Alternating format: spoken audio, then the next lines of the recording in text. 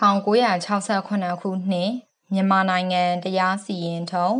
စာမျက်နှာနံပါတ်259မောင်ညွန့်အယူခံတရလိုနှင့်ပြည်ထောင်စုမြန်မာနိုင်ငံအယူခံတရခံဤစီရင်ထုံးအော်ဒီယိုဘုတ်ကိုအထက်တန်းရှိနေဦးအောင်ခိုင်ဦးအထက်တန်းရှိနေဒေါ်ပြည့်ပြည့်ဖြိုးနှင့်တရားလွှတ်တော်ရှိနေဦးထိန်လင်းဦးတို့မိသားစုက စီစဉ်ဆောင်ရွက်ပြီးဒေါ်ယူပါစော်မင်းမှဖတ်ကြားခြင်းဖြစ်ပါသည်နိုင်ငံတော်တရားရုံးချုပ်ရာဇဝတ်အယူခံမှုတရားသူကြီးချုပ်ဒေါက်တာမောင်မောင်တရားသူကြီးဦးထွန်းတင်နှင့်တရားသူကြီးဦးစိန်သင်းတို့ရှေ့တွင် မောင်ညွန့်အယူခံတရလိုနှင့်ပြည်ထောင်စုမြန်မာနိုင်ငံအယူခံတရခံလူငိမ့်ချမ်းသာခွင့်အမိတ် အတိပယ်ဖွင့်ဆိုရန်လိုအပ်ခြင်းကြေးရွာလုံခြုံရေးကိုတာဝန်ယူရသူတဦးဖြစ်သည့်ဆယ်အိမ်ခေါင်းအားတေသူခတိုင်ကြားခြင်းရဲစခန်းတွင်တေသူနှင့်ညီတို့မျှတော်ဆက်ခြင်းမရှိသူခတိုင်ချက်ဖွင့်ခြင်းတိုင်ချက်သည် တိုင်ကြားခြင်းမြောက်မမြောက်ဆုံးဖြတ်ချက်ဆယ်အိမ်ခေါင်းသည်ကြေးရွာလုံခြုံရေးကို တာဝန်ယူရသူတဦးဖြစ်သည်၎င်းအားတေသူကဒဏ်ရာဒဏ်ချက်များရပြီးနောက်တွားရောက်တိုင်ကြားခဲ့သည်ဆယ်အိမ်ခေါင်းသည်ရွာခေါင်းကိုတဆင့်ပြောခဲ့သည်ဆယ်အိမ်ခေါင်းနှင့်ရွာခေါင်းတို့သည်တေသူကိုထမ်းစင်နှင့်တင်၍ရဲစခန်းသို့ပို့ရာတွင် ပါဝင်ခဲ့ကြသည်ရဲစခန်းတွင် တိုင်ချက်ဖွင့်ကြသည် တေသူနှင့်ညီတို့မျှတော်ဆက်ခြင်းမရှိသည့်ဘိုးကျော်ဆိုသူခတိုင်ချက်ဖွင့်သည် ဖွင့်ချိန်၌ဆယ်အိမ်ကောင်းလဲရှိသည်ဒဏ်ရာအပြင်းအထန်ရနေသူ ကာယကံရှင်လဲရှိသည် တိုင်ချက်ဖွင့်ခြင်းဖြင့်ရာဇဝတ်တရားစီရင်ရေးဆက်ရန်တရားစတင်လှုပ်ရှားလာသည် ထိုအခြေအနေမျိုးတွင်တေသူခတိုင်ကြားခြင်းမပြုခဲ့ တေသူခပြောခဲ့သောဆယ်အိမ်ကောင်းကတိုင်ချက်မဖွင့်ခဲ့ထို့ကြောင့်အခြားသူတဦးကဖွင့်ခဲ့သောတိုင်ချက်သည် တိုင်ကြားခြင်းမမြောက်ဟုဆုံးဖြတ်ရမည်ဆိုလျင်လူငိမ့်ချမ်းသာခွင့်အမိတ်ဤအနှစ်သာရနှင့်စေတနာကို လိုက်နာရမရောက်စကရက်နှင့်ပတ်သက်၍ကတ်သက်အငင်းပွားရသာရောက်ပေလိမ့်မည်အထက်ပါအကြောင်းတို့ကြောင့် တေဆုံးသူခဆယ်အိမ်ခေါင်းအားတိုင်ကြားခဲ့ခြင်းသည်လူငိမ့်ချမ်းသာခွင့်အမိတ်အပိုက်တစ်နှင့်အရာတိုင်ကြားခြင်းမြောက်သည်ဟုယူဆသည်ပြည်ထောင်စုမြန်မာနိုင်ငံနှင့်မောင်ခွေး1963ခုနှစ်ရာဇဝတ်ဇော်ဒကမှု အမှတ်14မောင်မြဟန်ပါနှစ်နှစ်ပြည်ထောင်စုမြန်မာနိုင်ငံမြန်မာနိုင်ငံ တရားရေးရာစာဆောင်အထူးရာဇဝတ်ယုံအယူခံအဖွဲ့စာ80ပြည်ထောင်စုမြန်မာနိုင်ငံဒေါက်တာပြည်ဆိုနှင့်ဒေါ်တင်တင်1965ခုနှစ်ရာဇဝတ်ပြင်ဆင်မှုအမှတ်151ခါခွေရည်ညွှန်းသည်အယူခံတရလိုအတွက်မရှိ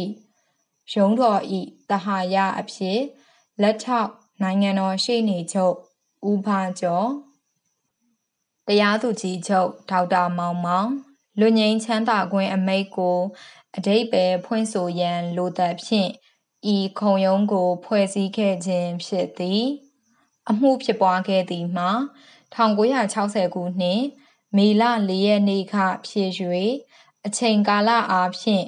ရင်းအမိတ်ထုတ်ပြန်ခြင်းမပြုမီခဖြစ်သည် အမှုတွင်တေဆုံးသူစိုးကျော်သည်ဒဏ်ရာများရရှိပြီးနောက်ရွာမှဆယ်အိမ်ကောင်းကိုပေါက်စထံပြေးသွားပြီးတရခန်ကဓာနှင့်ထိုးချောင်းတိုင်တန်းခဲ့သည်ဆယ်အိမ်ကောင်းကထိုအကြောင်းကိုရွာကောင်းဦးဆန်ဖိုးအားတဆင့်ပြောကြားခဲ့သည်ဆယ်အိမ်ကောင်းရွာကောင်းနှင့်စိုးကျော်ဤဆွေမျိုးများသည်စိုးကျော်ကို ထမ်းစင်နှင့်တင်၍ရဲစခန်းသို့ပို့ခဲ့ကြသည်ရဲစခန်း၌တိုင်ချက်ဖွင့်သူမှာကဆယ်အိမ်ကောင်းကိုပေါက်စလည်းမဟုတ်စိုးကြော်နှင့်လဲမြည်တို့မျှမတော်ဆက်သည့်ကိုဘိုးကျော်ဆိုသူဖြစ်ခဲ့သည်စိုးကြော်သည်ဒဏ်ရာများဖြင့်တိတ်ဆုံးသောကြောင့်တရခန်အားလူတက်မှုဖြင့်ရုံးသို့တရားစွဲဆိုတင်ပို့ခဲ့ခြင်းဖြစ်သည်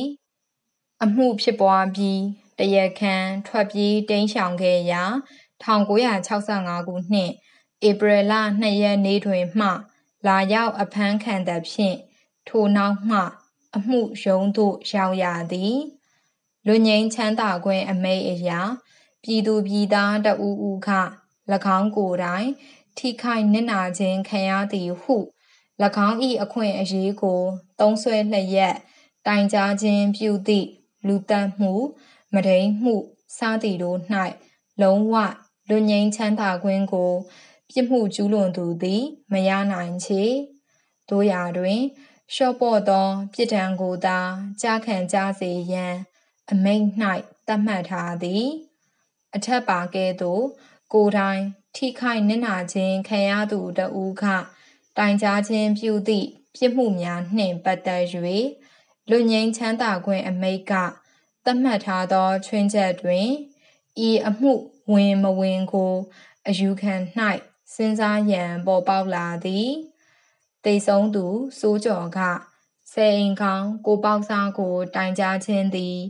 လူငင်းချမ်းသာခွင့်အမိတ်ကရည်ရွယ်သော တိုင်ကြားခြင်းဟုတ်မဟုတ်ဟုသောစေတနာပေါ်ပေါက်သည် ထို့သောတွေးရှိရသောကြောင့် အစိုးရရှိနေကြီးကထိုပြဿနာကိုခုံရုံးဖွဲ့၍အတိတ်ပဲဖွင့်ဆိုပေးသင့်ပါသည်ဟုလျှောက်ထားသဖြင့်အယူခံကို ကြားနာသောပညာရှိတရားသူကြီးကခုံရုံးဖွဲ့ပေးသင့်ကြောင်းဖြင့်ထောက်ခံခဲ့ခြင်းဖြစ်သည်လွန်ငင်းချမ်းသာခွင့်အမိတ်တွင် ဖော်ပြသော ကိုယ်တိုင်ထိခိုက်နစ်နာခြင်းခံရသူသည်မြည်သူတို့ဖြစ်သည်ဟု၍ဤယုံက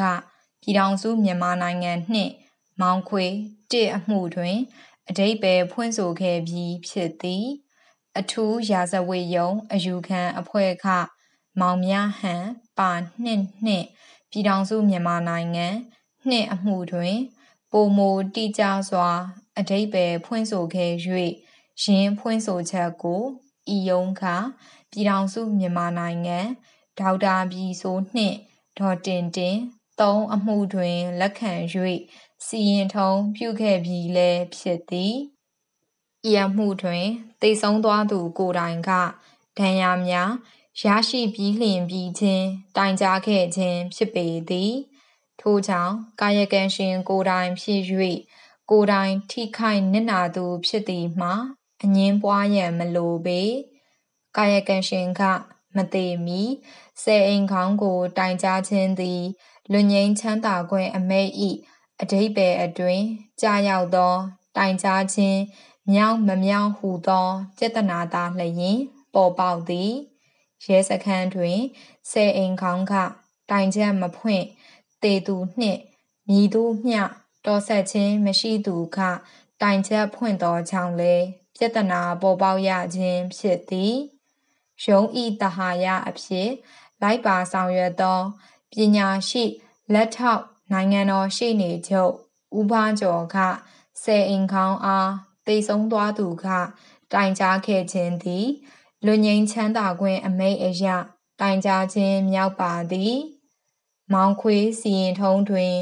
ကိုယ်တိုင်ထိခိုက်နစ်နာသူအတွက် အခြားသူတဦးဦးကတိုင်ကြားမြင်လေထိခိုက်နစ်နာသူပင် တိုင်ကြားခြင်းမြည်သည်ဟု ယူဆရမည်ဖြစ်ကြောင်းကို ဆုံးဖြတ်ထားပါသည်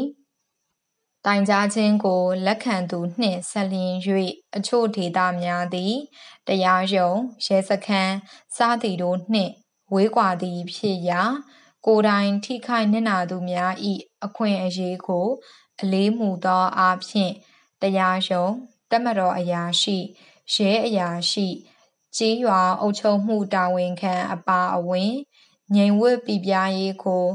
ထိမ့်သိမ်းစောင့်ရှောက်ရသည့်သူတဦးဦးထံတိုင်ကြားလျင် တိုင်ကြားခြင်းမြောက်သည်ဟု၍ယူဆရမည်ဖြစ်ကြောင်းကိုလည်းဆုံးဖြတ်ထားပါသည် ထိုဆုံးဖြတ်ချက်အရာဆယ်အိမ်ခေါင်းကို တိုင်ကြားခဲ့ခြင်းသည် ထိရောက်သော တိုင်ကြားချက်မြောက်သည်ဟုယူဆရန် ဖြစ်ပါသည်ဟု တင်ပြသည် အထူးရာဇဝေယုံအယူခံအဖွဲ့ခ မောင်မြဟန်စီရင်ထုံးတွင် ကိုယ်တိုင်ထိခိုက်နစ်နာသူတဦးဦးသည် ကိုယ်တိုင်တိုင်ကြားခြင်းမပြုနိုင်လျင်၎င်း၏ကိုစားအခြားတဦးဦးကိုတိုင်ကြားရန်စေလွှတ်လျင်လေကိုယ်တိုင်ထိခိုက်နစ်နာသူကပင် တိုင်ကြားခြင်းဖြစ်သည်ဟုယူဆရမည်ဖြစ်ကြောင်းဆုံးဖြတ်ထားသည်ကိုကျွန်ုပ်တို့တွေ့ရသည် အထက်ပါမူများအရာ ကိုယ်တိုင်ထိခိုက်နစ်နာသူက အခြားသူတဦးဦးကို တိုင်ကြားရန်စေလွှတ်ခြင်းရဲအရာရှိများကစုံစမ်းအရေးယူလျက်ရှိသော အမှုတွင် ကိုယ်တိုင်ထိခိုက်နစ်နာသူကဝင်ရောက်၍၎င်းသည်ကြည်အေးခြင်းမရှိပါ အမှုကိုဆက်လက်အရေးယူပေးပါဟု တောင်းဆိုခြင်းရုံးတင်၍အမှုစစ်ဆေးနေသောအခါမှ ကိုယ်တိုင်ထိခိုက်နစ်နာသူခဆက်လက်စစ်ဆေးစီရင်ပေးပါဟု တောင်းဆိုခြင်းစသည်တို့ကို ကိုယ်တိုင်ထိခိုက်နစ်နာသူခတိုင်ကြားခြင်းမြောက်သည်ဟုယူဆ၍ဆောင်ရွက်ခဲ့သည်တို့ကို တွေ့ရှိရသည်ဤအမှုတွင်ဆယ်အိမ်ခေါင်းသည်ကြေးရွာလုံခြုံရေးကိုတာဝန်ယူရသူတဦးဖြစ်သည်၎င်းအားစိုးကျော်က ဒဏ်ရာဒဏ်ချက်များရပြီးနောက်သွားရောက်တိုင်ကြားခဲ့သည်ဆယ်အိမ်ခေါင်းသည်ရွာခေါင်းကိုတဆင့်ပြောခဲ့သည်ဆယ်အိမ်ခေါင်းနှင့်ရွာခေါင်းတို့သည်စိုးကျော်ကိုထမ်းစဉ်နှင့်တင်၍ရဲစခန်းသို့ပို့ရာတွင် ပါဝင်ခဲ့ကြသည်ရဲစခန်းတွင် တိုင်ချက်ဖွင့်ကြသည် ဖွင့်ချိန်၌ဆယ်အိမ်ခေါင်းလည်းရှိသည် ဒဏ်ရာအပြင်းအထန်ရနေသူ ကာယကံရှင်လည်းရှိသည်တိုင်ချက်ဖွင့်ခြင်းဖြင့်ရာဇဝတ်တရားစီရင်ရေးဆက်ရန်တရားစတင်လှုပ်ရှားလာသည် ထိုအခြေအနေမျိုးတွင်တေသူကတိုင်ကြားခြင်းမပြုခဲ့တေသူကပြောခဲ့သောဆယ်အိမ်ခေါင်းကတိုင်ချက်မဖွင့်ခဲ့ထို့ကြောင့်အခြားသူတဦးကဖွင့်ခဲ့သောတိုင်ချက်သည် တိုင်ကြားခြင်းမမြောက်ဟု ဆုံးဖြတ်ရမည်ဆိုလျင်လူငိမ့်ချမ်းသာခွင့်အမိတ်ဤအနှစ်သာရနှင့်စေတနာကို လိုက်နာရမရောက်စကရက်နှင့်ပတ်သက်၍ကတ်သက်အငင်းပွားရသာရောက်ပေလိမ့်မည်အထက်ပါအကြောင်းတို့ကြောင့်ဤအမှုတွင်သေဆုံးသွားသူကဆယ်အိမ်ခေါင်းအားတိုင်ကြားခဲ့ခြင်းသည်လွငိမ့်ချမ်းသာခွင့်အမိတ်အပိုက်1နှင့်အရာ တိုင်ကြားခြင်းမြောက်သည်ဟုကျွန်ုပ်တို့ဆုံးဖြတ်သည်လွငိမ့်ချမ်းသာခွင့်အမိတ်ဤအနှစ်သာရ